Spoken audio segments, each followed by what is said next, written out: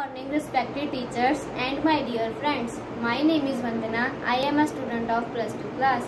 My school name is Government Senior Secondary School, Pasla, District Jalandhar. Today it's my pleasure to extend a cheerful welcome to you all in this session of EBC that is English Booster Club.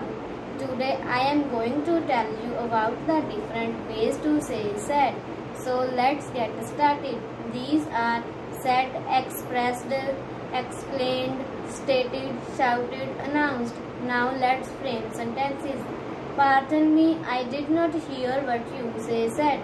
The leader expressed his views at the meeting.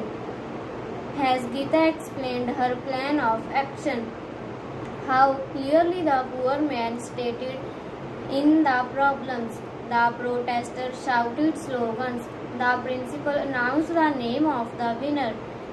So these were the different ways to say said.